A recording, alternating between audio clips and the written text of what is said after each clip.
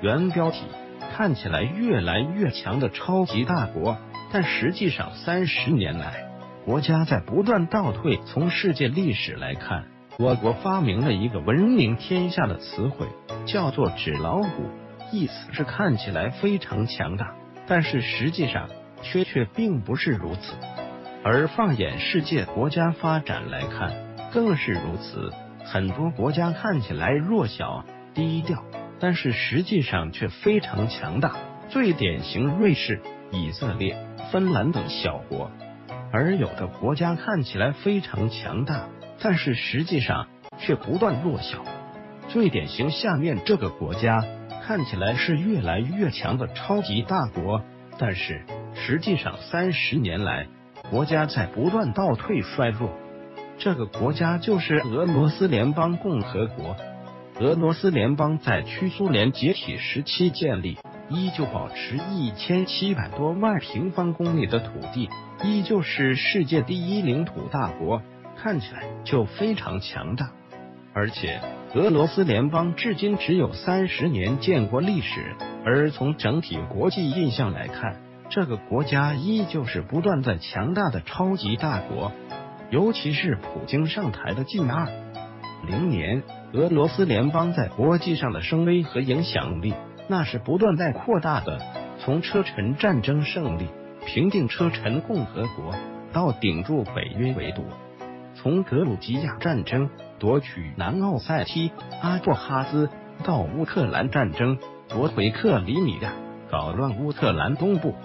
从叙利亚战争力挽狂澜，保住阿萨德政府，到委内瑞拉动乱首先出击；从威慑欧洲到抗衡美国，整个呈现的是不断在强大，不断在恢复苏联超级大国地位，反正是强悍无比。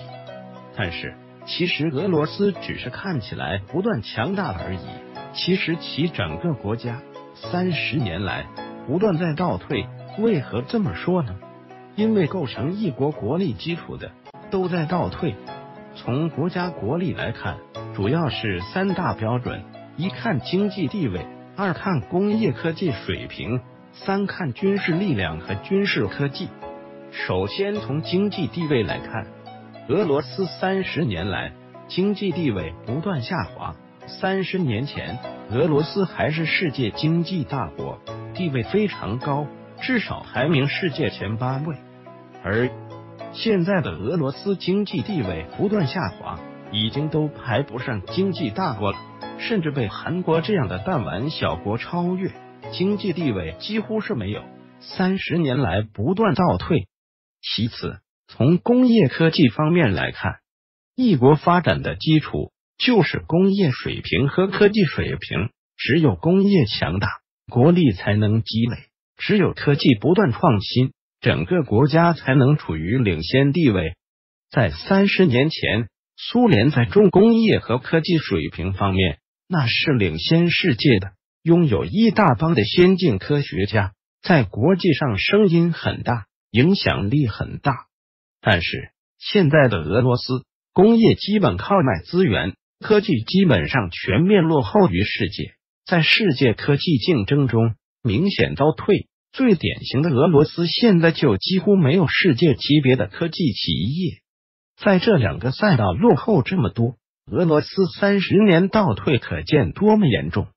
最后，从军事力量、军事科技来看，在三十年前，俄罗斯基本上能够跟美国匹敌，是世界著名的军事科技大国，在航母、先进战机、坦克、军舰等领域。那是领先世界的，但是现在俄罗斯在各个方面都倒退了，航母基本不会了，战机直接落后了，其他核心军事武器也被赶超了，所以在军事层面也在倒退三十年。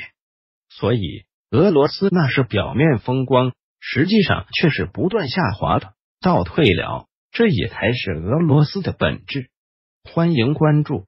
还原历史背后真相，每天为您更新新鲜的历史资讯。不出门看天下事，参考文献：俄罗斯历史之路，千年回眸，返回搜狐。查看更多责任编辑。